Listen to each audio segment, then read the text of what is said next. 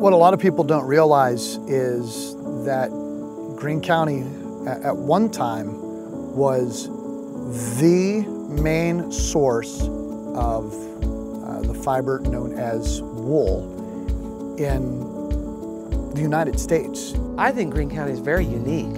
Uh, when, you, when you think of agritourism, you're not thinking of just farms, but the tourism part of it means that we have a lot of unique farms that are inviting and welcoming to people, like Lippincott alpacas. I mean, you can go out there and get kissed by an alpaca. How cool is that?